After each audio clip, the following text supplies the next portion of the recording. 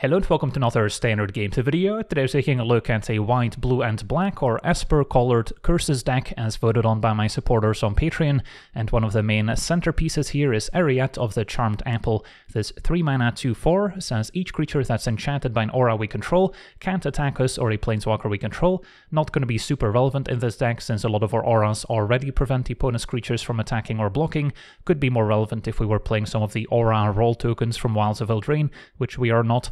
But then the important part here at the beginning of our end step, each opponent loses X life and we gain X life, where X is the number of auras we control. So our deck is filled to the brim with auras that will be mainly used to prevent the opponent's creatures from hitting us, but we also have some curses that have the aura subtype, so those can potentially make opponents' spells more expensive and also draw a lot of cards with Curse of Surveillance, and those will also synergize with Eriette to then hopefully drain the opponent to death while also gaining a lot of life, which is helpful against those red aggressive decks in the format. And then besides Eriette, another important win condition is Sheoldred, and I can already see a lot of eyes rolling. Of course, Sheoldred played in a lot of decks in Standard, but is actually incredibly synergistic here as a creature that can gain a ton of life when paired with Curse of Surveillance, so that allows us to potentially beat a lot of aggressive decks in the late game, even after deploying a 5-mana enchantment that doesn't necessarily impact the board. And then Sheoldred can also drain the opponent to death, so that kind of complements Eriette nicely, as we can just sit there with our legendary creatures and have the opponent drained to death without ever needing to attack them, which also plays around cards like the Wandering Emperor, which is a nice upside. And then we also have two copies of Katilda, which has good synergy in an enchantment deck. As it becomes bigger, the more enchantments and spirits we control has flying and lifelink, as well as protection from vampires, so that can also come in handy against those aggressive decks. And then from the graveyard, we can also disturb Katilda, in which case it does actually become an aura, so can then also synergize with our Eriette. And then looking at the rest of our deck, I already mentioned some of our curses. Four copies of Curse of Silence is a card that's not always all that amazing, but in a best of one standard meta, where a lot of the decks are well defined and you know what you're up against as soon as the opponent plays their first land drop, Curse of Silence is actually not bad as kind of a tempo play to slow the opponent down. And then especially if we name something that's already kind of expensive, making it cost two more could prevent the opponent from casting it altogether. And then a Curse of Silence pairs quite well with Duress, can take away a non-creature non-land card from the opponent's hand. We get to see it in the process, so now we've got a better idea what to name with Curse of Silence if we had both. And we also need to increase our curse count on the battlefield, not only to have an extra aura to drain the opponent with Eriette, but also because we're playing four copies of Curse of Surveillance, the main reason we're splashing blue in an otherwise black-white deck. This enchants our opponent, and then at the beginning of their upkeep, we get to draw a card for each curse attached to the opponent. So if we have a Curse of Surveillance and a Curse of Silence attached to them, we get to draw two cards, and of course, the more of them in play, the better. They do stack in multiples, and this will also gain us a ton of life if we have a Sheoldred in play, as we now get to draw quite a few cards, and it's also an extra aura that can drain the opponent with Eriette, so plenty of synergy to go around. And then the rest of our deck has a lot of interaction to keep the opponent's creatures in check. We've got one copy of Candle Trap, one copy of Witness Protection, and these are one-offs because we can potentially search them up with our two copies of Invasion of Theros, which is here to find any aura when we play it. So this can help find our Curse of Surveillance. We can find some removal spells, mainly Ossification is probably our best one, as this can actually exile an opposing creature or planeswalker, but still counts as an aura, as it has to enchant our basic land. So that's also why we have a bit of a weird mana base with lots of basics and two copies of Obscura Storefront to search them up to make sure we have enough basics to enable Ossification as one of the better removal spells we can play in this archetype. And then we also have four copies of Planar Disruption, can enchant artifact, creature, or planeswalker, preventing it from attacking or blocking or activating its abilities. So having an answer to planeswalkers here is also quite useful, as it's not going to be dead against opposing control decks. And then we've got two copies of the Irencrag, which can help us play a turn 4 Curse of Surveillance, maybe after a turn 3 Sheoldred, that's the dream. And then if we play a legendary creature, of which we have many, we can also transform it into an equipment, so it can still help out if we happen to draw the second copy. And then we already mentioned Invasion of Theros, but we can also transform it if we manage to deal 4 damage to it with a Sheoldred, or maybe with a large Katilda. And then we get Ephara, which can also draw extra cards whenever we play an enchantment, and turns indestructible if we have enough of them in play. And then our mana base, lots of basics as we mentioned, to make sure we enable ossification, so no room for the channel lands here unfortunately, despite them having good synergy with our legendary creatures, and then plenty more dual lands for mana fixing, including a Raffine's Tower as a tri-land, which is another perk of being Esper. So yeah, that's our deck, now let's jump in some games and see how the deck does. Okay, we're on the play with what looks like a potentially keepable hand, although missing black mana for Duress and Sheoldred. Might actually be a mulligan, although if we find black mana, it is pretty good having Duress to then give us information on what to name with Curse. I'll try it. Not expecting to cast a turn 4 Sheoldred, but hopefully turn 5 or 6 is good enough. Against a red aggro, we've got a pretty good idea what to name, although not hating on just removing Swiftspear first and I'll do so with Disruption, that's fine. Ossification, a better answer to something like Squee, which could come back. Kumano on turn 2. And Irencrag. So, can Irencrag plus Curse of Silence naming Lightning Strike is always a good one, since it's not their cheapest card, so making it cost 2 more is pretty significant. There's too many 3 mana creatures we could name, Godric, Squee, and not every deck plays a lot of those. So the only card we know for sure they'll have 4 copies of is Lightning Strike. And I prefer naming 2 drops as opposed to 1 drops. Because making a 1 drop cost 2 more still makes them pretty easy to cast. Adversary picks up a plus 1 counter, so that's going to be exiled next turn most likely. And Eriette's gonna be great once we find our black mana. Still gonna take two from Kumano, there's a Mishra's Foundry. So yeah, we gotta get some of these creatures in play as soon as possible, otherwise we're gonna get burnt out. If our next two draw steps are Swamp and Swamp, I'm liking my chances, although there's Godric getting in for four. Alright, there's a Shattered Sanctum, so we can play Eriettes, which will immediately drain 4-3 here. And then I could transform Irencrag, since I don't really need the colorless mana, unless we draw the 5 mana Curse of Surveillance. So we're back up to 10. Not sure yet if I'm blocking if they attack.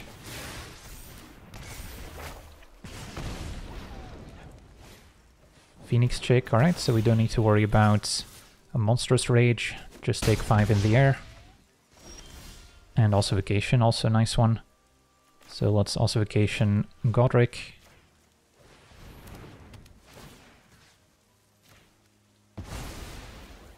And then we can still Duress. Seeing double Lightning Strikes, so Curse of Silence is doing work. Pass a turn, gain 4 up to 8. Opponent is attacking, so that sort of implies that they're gonna play land Lightning Strike Eriette to finish it off. So it's a close call whether I take it or not. Eriette is draining for 4 each turn, so that's pretty nice. Although if they have to 2 for 1 themselves to kill Eriette, I can still sack Curse, and then if I find a Swamp to play Sheoldreds, we're in business.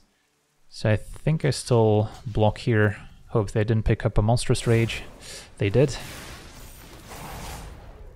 Yeah, I was kind of banking on just second main land cast a Lightning Strike.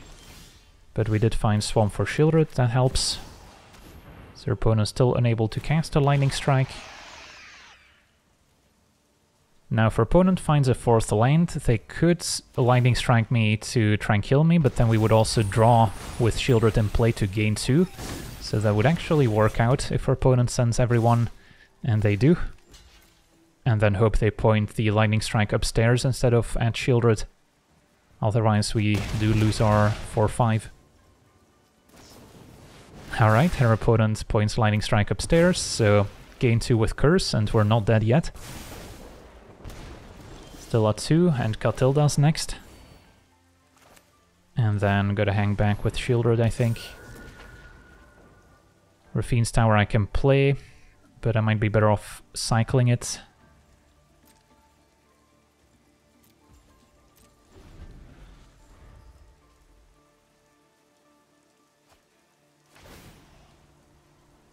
Opponent falls to 9. And another Phoenix check, okay. So no great attacks. Not sure what this is all about.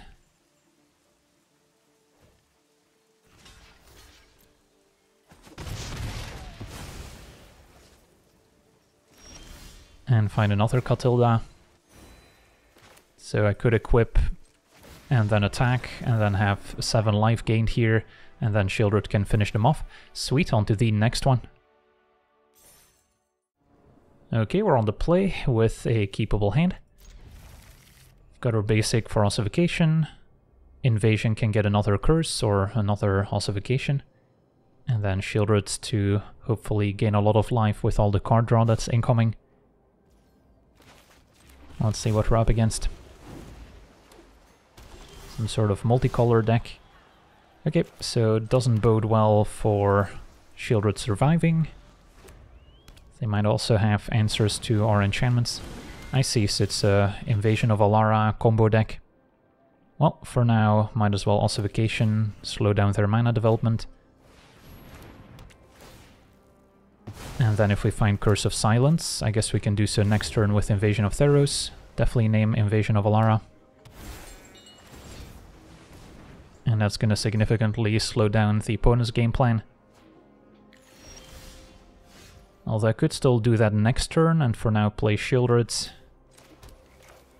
Although if I Invasion Curse, then next turn I get to play Curse of Surveillance, which they're less likely to interact with than Sheoldred. So I think I still like Curse of Silence now. And then Surveillance will immediately draw two cards.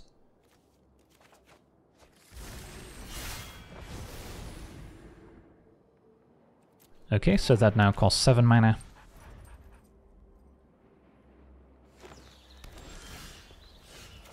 And let's play Curse of Surveillance. Now I guess we would have to worry about Leyline binding my curse and then Invasion of Alara, so that is a reason to go Duress plus Sheoldred this turn. Fair. No Leyline binding, I'll take the Invasion anyway and strand them with Atraxa and Etali.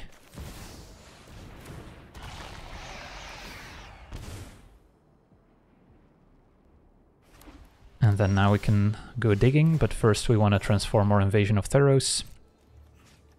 So we get to draw when playing an enchantment.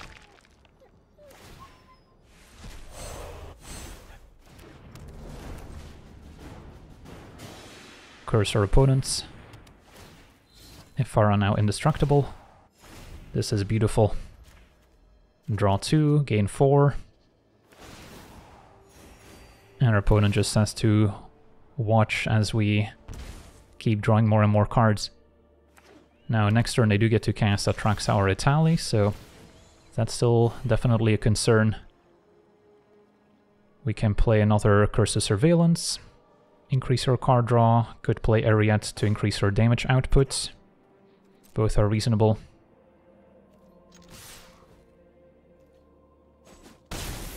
Bone falls to 11.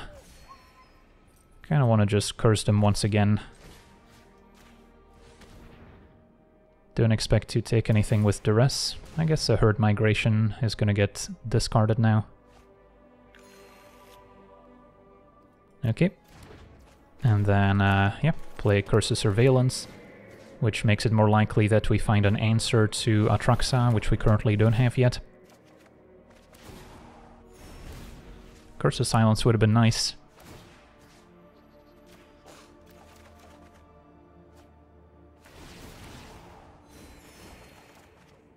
Alright, so now Planar Disruption, a pretty decent answer to Atraxa, letting us attack past it. And then with Eriette we should be able to close out the game. Point actually goes for Etali, hitting Curse of Surveillance and looks like a Virtue of Persistence. But yeah, that's not going to be good enough here.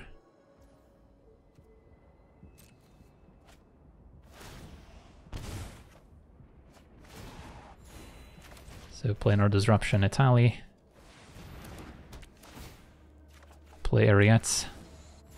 And then I could also Curse of Silence Atraxa for what it's worth.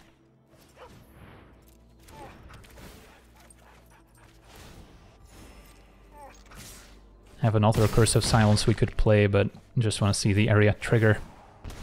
Alright, sweet, on to the next one. Okay, we're on the play with a keepable hand. Got Irencrag setting up turn 3 Sheoldred, turn 4 Curse of Surveillance.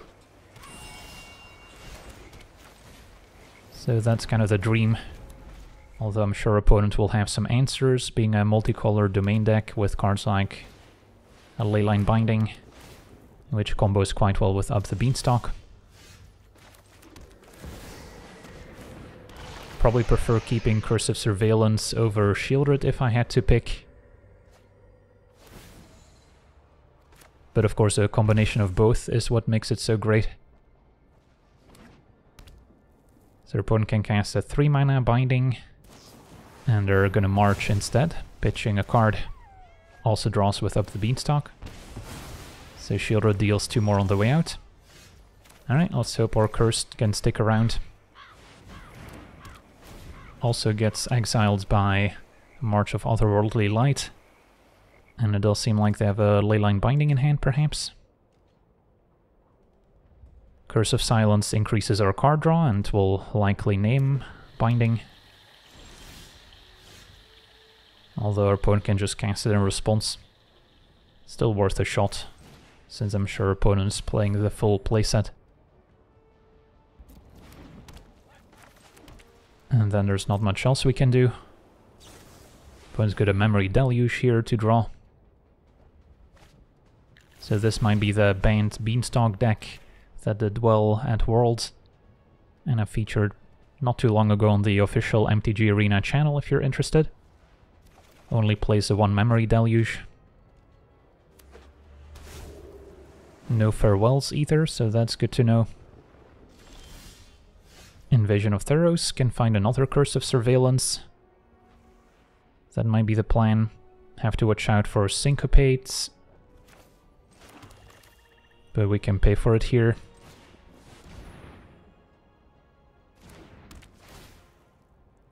Question is whether I want to play Eriettes or if we play around a counterspell. I think I still play it since our opponent could also just have a Wandering Emperor to keep up the pressure. And then they're less likely to counter my curse. And there's Syncopate for three. At least didn't draw them a card with Up the Beanstalk. There's a Leyline Binding. Do we draw with Curse of Silence? Don't think so. So that will remove one of our curses, so now I only draw one card with Curse of Surveillance, but I did find another one. So that's why it's important to keep the Curse of Silence in play. And there's another one. Okay, so Curse of Silence. Could name Binding once again.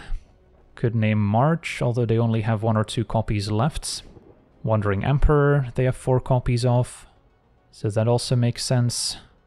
But um, yeah, the main interaction I'm worried about is enchantment removal, which would be Leyline Binding. So I think that's still what I name.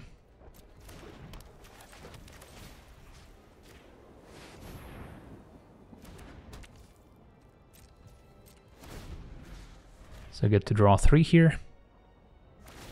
Boseiju, yeah, that also answers our curse. Can't name that one with uh, Curse of Silence. And I'll leave the cycling lands in the deck. Still draw two. And can cycle a tower now. Another up the beanstalk. Resolves. Ossification to answer the Whale and uh, Wandering Emperor. Finding a Duress would also be nice. But I'm still gonna jam Curse of Surveillance here, hope they didn't draw their one-off negate.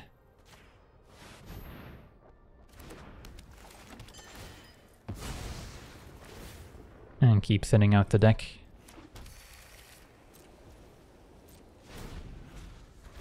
Draw three. Okay, there's Sheoldred. Although I'm sure it's gonna get removed as soon as it hits the battlefield. Alright, so what else do we want to name? Could name Sunfall, make it cost 7 mana. And then at least they'll be tapped out. Could name Syncopates. Make it cost two more. Although they would still be able to counter almost everything here. So, yeah, naming Sunfall I think makes sense. And then as long as I don't attack with my creatures, our opponent's got a lot fewer ways to remove them.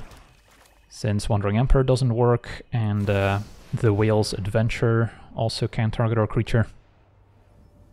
It's gonna be a Syncopates, drawing two cards, countering Sheoldred. So now I can still Invasion, and get another Curse of Surveillance, I think.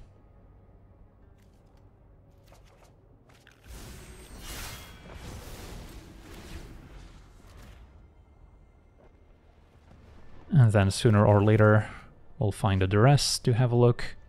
Eriette and Sheoldred can help close out the game.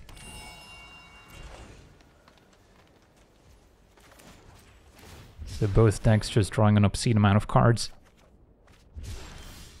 Alright, so now we can check if the coast is clear. Opponent's gonna Leyline Binding, triggering a couple of our curses. Let's decline.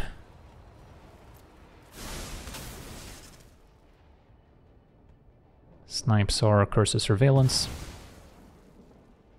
And we see a hand of Sunfall. Double Whale Dissipate they can't cast this turn. So I'm not too worried about it. So yeah, could just take Sunfall as the only answer to Sheoldred. And then play Sheoldred, play another Curse of Surveillance. That looks good.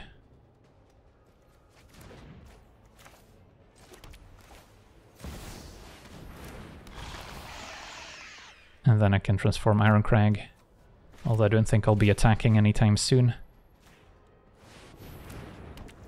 And then any point in casting Duress now? I don't think so.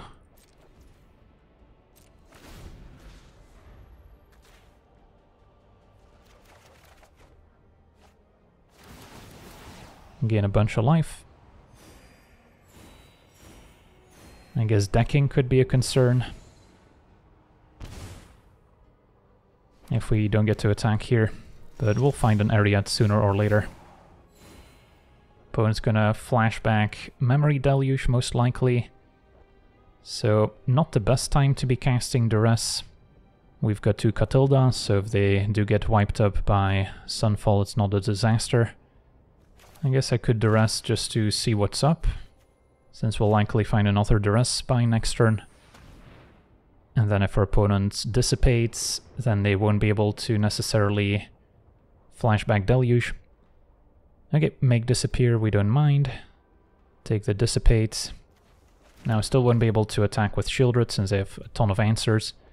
But uh, can play Katilda. And then our opponent's going to be digging for Sunfall using Memory Deluge. And uh, yeah, that's going to happen.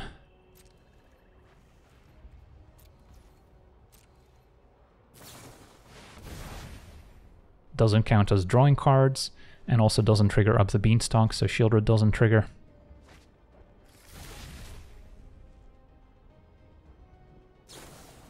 And a Broker's Charm to draw two. Alright, that's gonna trigger Sheoldred. Discard to hand size, Candle Trap can go. And we'll draw four cards. Finding a backup Sheoldred's.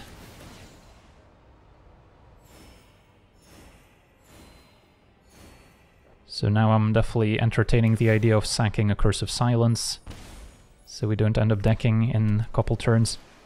There's Sunfall, as we suspected. So sure, I'll sack my Curse. They should have one Sunfall left in the deck. They usually play three.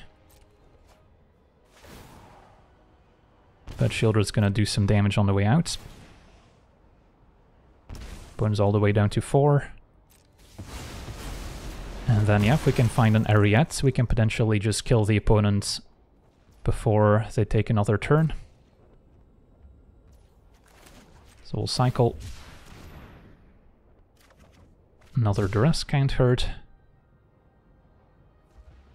Opponent's got a discard to hand size. Okay, so duress and then play Sheoldred's. And our opponent's got a Syncopate, they can cast for x equals 3.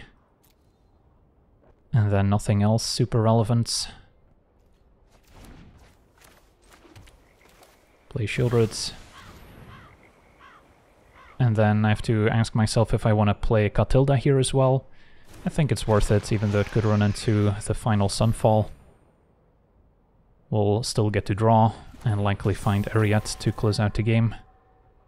And then I can suit up one of my creatures if I'd like. Okay.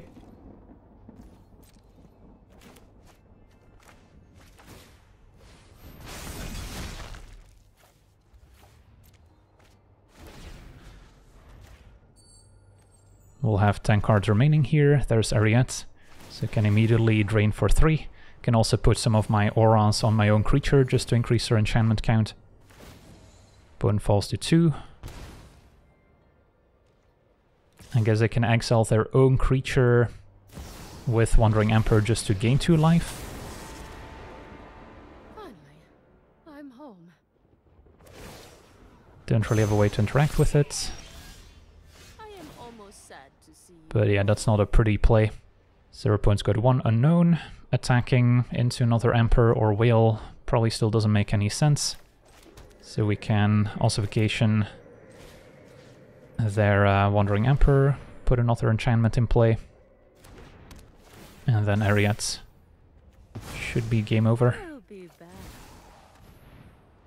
Can play Irencrag since we transformed the first one, so it doesn't have the same name.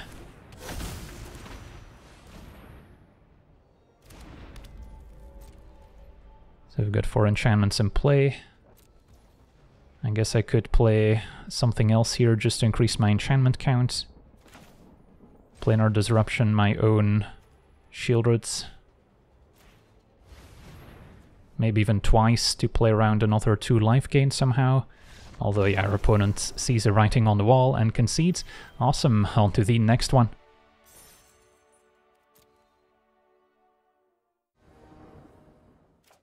Okay, we're on the draw, and uh, our hand is not the best, but I'll still try it out.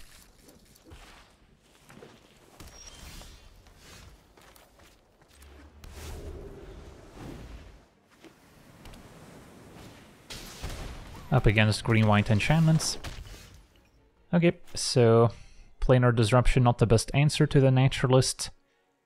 Could still uh, Curse of Silence here, since we've got a pretty good idea what our opponent could play next. Hallowed Haunting would be a decent name, although not all versions play it. Calix might also be a good one. So let's go with Calix. Since most decks will play four copies. And then I think it's guided by fate here.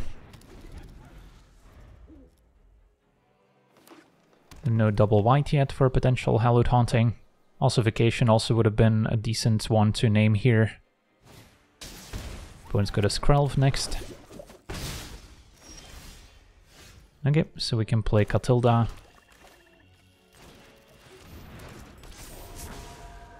And then we might see an Ossification. And then hopefully Sheoldred survives. Yep, there it is.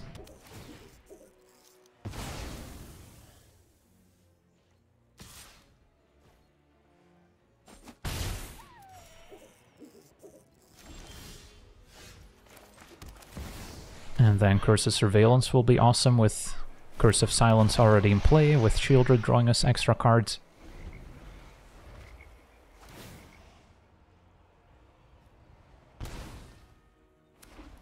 Could now see Calix, thanks to the discount from Naturalist, just gonna be a companion. So they don't have an answer to Sheoldred yet. Generous Visitor. And this might be an Audacity, no, just uh, another companion.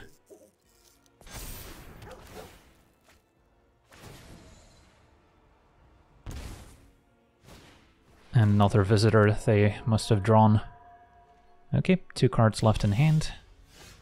And I'm just gonna play Surveillance, since Disruption's not that great on this board.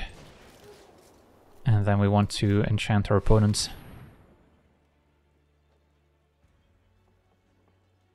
Sheoldred can hang back to play defense. And then if we can find Eriette, that would be great too. So we'll be the ones drawing two cards and gaining 4 life. Ossification. Can exile the Naturalist, although we need to deal with Skrelv first.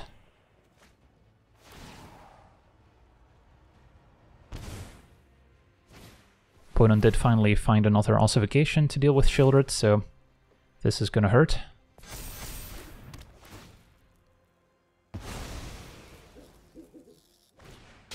And a Rain of Truth, pumping Naturalist, I'm sure. So we're gonna take a massive hit. And yeah, we might just be dead here, since Skrelv can protect Naturalists. We'll get another pump from Rain of Truth. Although finding another blocker is handy. So I can Planar Disruption Skrelv or ossification it. So we actually remove an artifact or enchantment from the battlefield. And then we'll see if they activated in response. But since Rain of Truth can pump any of their creatures, I'm gonna have to chum block. And Planar Disruption's not an out, even with two of them. So I think our only hope is Sheoldred. And then we can gain a bit of life here. Interestingly, our opponent named Black, so could still Disruption the Naturalist, but then they just pump any of their other creatures and kill me. So we would have needed an extra blocker. So Sheoldred's gain 4 up to 8. They can pump Companion with Rain of Truth. And then assuming I have to jump with Sheoldred's, I'll still take 10 damage, which is just enough here, and there's Calix at long last potentially a mistake since we get to draw a card and gain two. Other opponent also gets some plus one plus one counters here. So kinda equals out. Alright, if they didn't find that uh, second ossification in time, then we would have been in the driver's seat, but Reign of Truth good enough here to carry them to a victory. On to the next one. Okay, we're on the draw. This hand is pretty awkward. No blue mana for Curse. No plains or a basic land for ossification. So I'll take a mulligan. This is probably keepable. Witness protection can go. And then the rest gives us information on what to name with Curse of Silence. So we'll start there.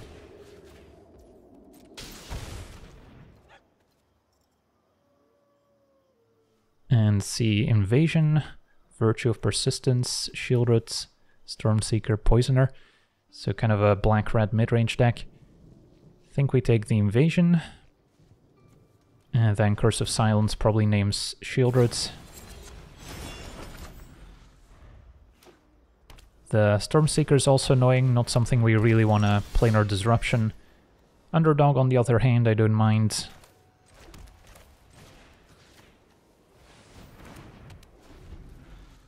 I guess with Virtue they could kill their own underdog to eventually blitz it later. Okay, so play Eriette. And then our opponent could use Harvester plus Virtue to kill it. That might still be acceptable.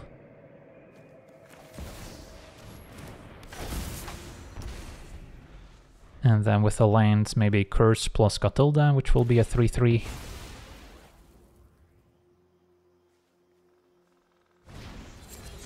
So Eriette down. Okay, so Curse of Silence names Sheoldred still, I think. And make sure to name the right Sheoldred to the Apocalypse. I've made this mistake before of naming Whispering One. Which is not in standard, but apparently can be named with Curse of Silence. Their opponent discarding Sheoldred with a blood token makes sense. And yeah, we're just a land away from Curse of Surveillance taking over. Opponent's got a food token they could sacrifice, but they might keep it to combo with Poisoner. Trespasser, I don't really mind. And Ossification is next. Well, I don't really want Ossification, Trespasser, and discard Curse of Surveillance, although if I don't cast anything it will transform into a 4-4, and then Stormseeker also becomes much scarier. Although I could just take the hit and then next turn Ossification the Slasher, and hope they don't have more of them. Upside of Ossification now is also we grow Katilda up to a 4-4, so it doesn't die to Poisoner should they sack the food token. Alright, I guess we'll have to do this. That feels bad.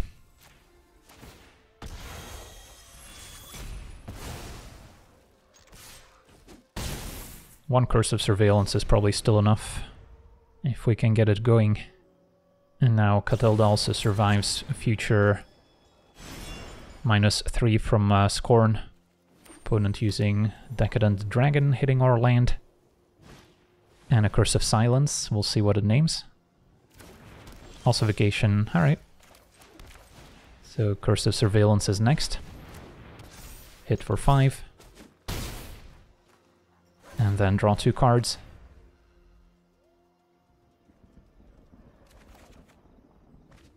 Ossification does cost two more now.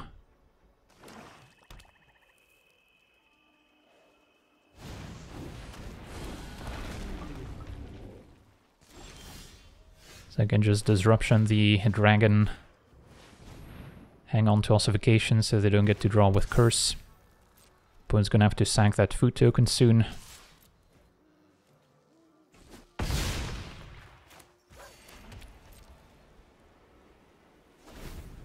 And draw two more. Okay. Their opponent could cast Virtue of Persistence, but that's not to help them. Just a Gumdrop Poisoner. And I can give it haste with a Stormseeker to gain 4. Don't think that's going to be enough, since we can play two more enchantments. So, Ossification Stormseeker. And then Disruption the Poisoner.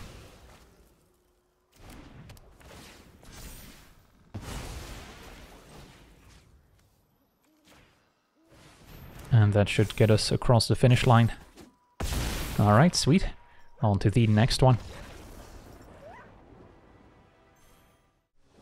Okay, we're on the play, and our hand is missing a second white source for Katilda, but otherwise keepable enough. We've got plenty of enchantments, a red to start draining, and then a cheap removal spell also important if we're up against a more aggressive deck. Turn 1 Swamp and Dream Thief, so blue-black fairies. So naming a counter spell like Spell Stutter with Curse of Silence makes sense. Don't really want a disruption the Dream Thief yet. Could also name their removal spell, although that one could still be effective with Curse of Silence taxing it. So Spell Stutter will now cost 4 mana, which is a lot harder to keep up. Now we also have our second white for Katilda. Ego Drain can check out our hand. That one's good too. Takes Eriette. So Katilda it is. Sheoldred also coming up. So I'm liking my chances this game. Could see Faerie Fencing, take out Katilda. This attack, what does this attack mean?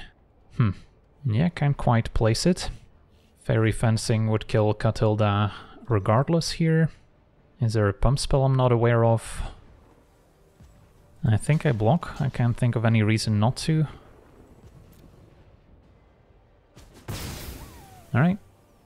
Creature down. Opponent passes, so yeah. That worked out for us. Can attack with Katilda, play Sheoldred. I guess opponent could trade for a Faerie Mastermind here. Are we okay with that? I guess so, since we don't have a clean answer to it, and it could punish us for drawing extra cards. So there it is.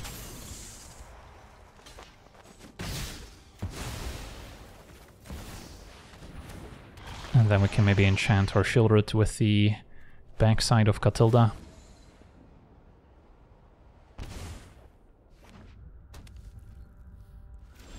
Opponent passes, Irencrag can give us 5 mana for next turn for now attack.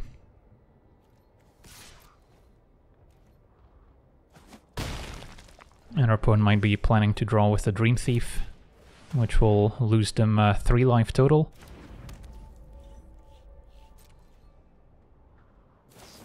It's going to be a Faerie Vandal end of turn. So Faerie Fencing here for x equals 2 would be enough to kill Sheoldred. To be another Ego Drain, that's fine. So opponent's going to be unable to cast Spell Stutter, even if they have it. And sure, we can just go for the Disturb here. Could also attack first, even though we lose out on a bit of damage on the off chance that they were sandbagging a Go for the Throat, but I imagine they would have killed Sheoldred right away then. Opponent jumps.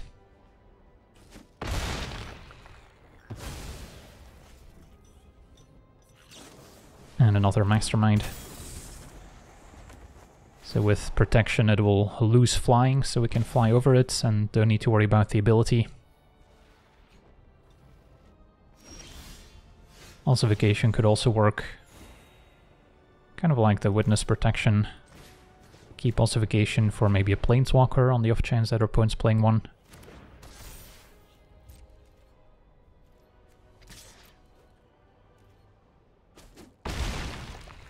Also could have considered just playing Candle Trap on the legitimate business person to increase our enchantment count, so Sheoldred would have drained him to death next turn, but our opponent actually holding the end, which they could only cast after falling below 5 life.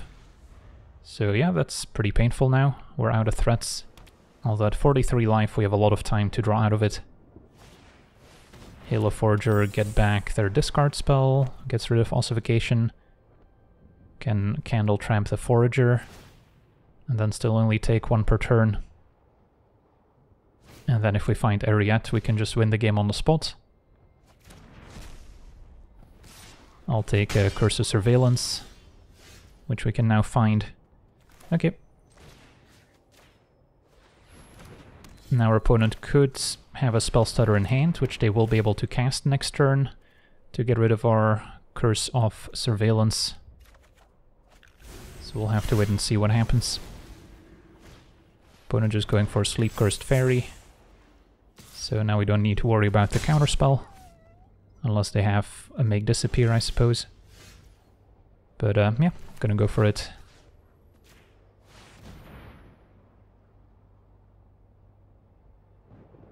That works. So we get to draw two cards, got another curse in hand to increase that number. Faerie Vandal to increase the pressure. So we'll draw two. And we don't need to worry about the uh, Mastermind here, since it's just a 1-1 citizen going about its day. Faerie Vandal up to 2 power now.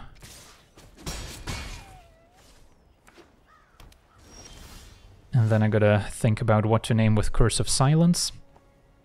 Not opposed to naming Talion as something kind of powerful they could play here if they are running it. Not all fairy decks necessarily are.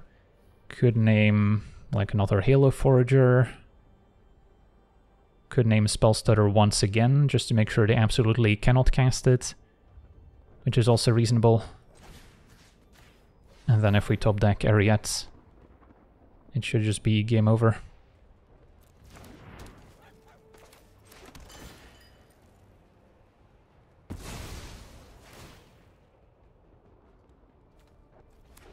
Okay. So we get to draw three. Still have plenty of time to find a win condition.